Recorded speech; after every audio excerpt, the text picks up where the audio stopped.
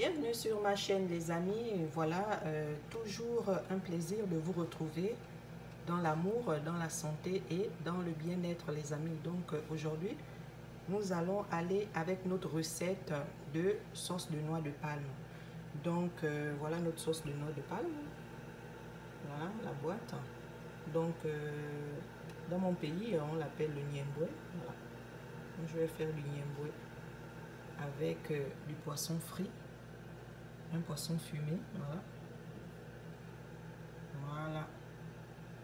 Donc, euh, les condiments, euh, je vais mettre euh, les aubergines, du piment, du gombo, la ciboulette pour parfumer le niemboué, voilà, avec des oignons. Ensuite, ici, j'ai les crevettes séchées, l'ail et le sel, donc que je vais piler. Donc ici, voilà.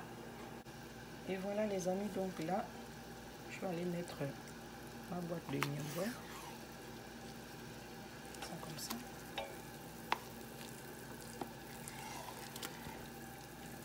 Voilà. Donc ici, voilà. En principe, pour, euh, pour une boîte comme celle-ci, de noix, comme ça, euh, vous mettez euh, vous mettez deux boîtes d'eau comme ça. Deux boîtes d'eau pour une boîte de noix de pain. Voilà. Donc je vais aller rincer tout ça et revenir tantôt. À tantôt. Voilà donc ici je vais aller directement mettre euh, les oignons. Voilà parfumer la sauce j'ai mis les oignons et la ciboulette, les oignons verts. Voilà. Donc là, je vais laisser évaporer l'odeur. Voilà. Ouvert sans couvrir. Je ne couvre pas, je ne mets pas de couvert. Donc euh, voici les amis, notre sauce de noix de palme. Voilà. Donc à ce niveau, vous voyez là, on aperçoit le gras ici et notre sauce tend à s'épaissir. Vous voyez? Donc euh, c'est ce moment-là qu'il faut aller mettre nos condiments, euh, nos, légumes, le poisson et autres. Donc, je vais d'abord aller mettre, voilà, ça c'est le, mes écrevisses séchées, les crevettes, l'ail et le sel. Donc, pour remplacer le, les, arômes artificiels que je n'aime pas. Si vous n'avez pas de problème avec euh, euh, les arômes artificiels, vous pouvez en mettre. Moi, je n'aime pas. Je mets les crevettes séchées, le, sel et l'ail. Voilà. Donc là, vous voyez, notre niemboué s'épaissit. C'est lorsque notre niemboué tend à s'épaissir, vous voyez, et on aperçoit le grain. C'est là qu'il faut aller mettre nos, condiments et autres. Donc là, je vais aller mettre directement... Ah, j'avais oublié de vous présenter tantôt, là, le zeille. Donc, euh, le zeille, le piment, les, voilà, les aubergines, le gombo. Voilà.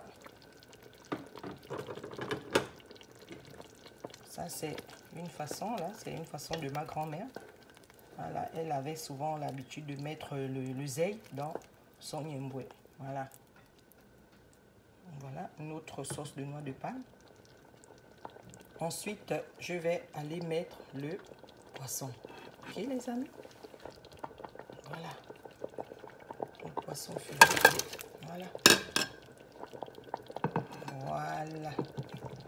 là, on va les laisser maintenant.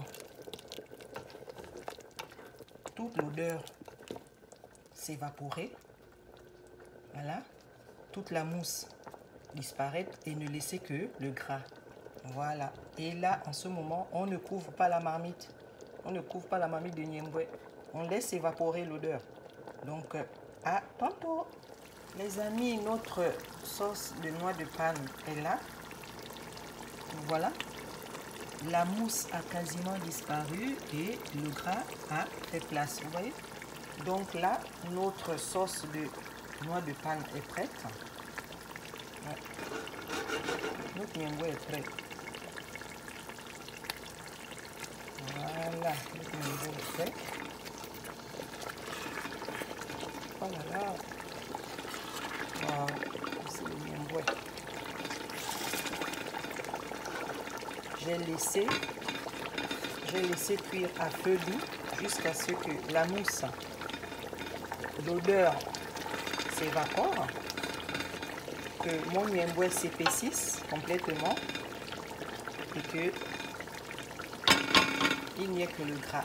Voilà, à feu doux. Oui.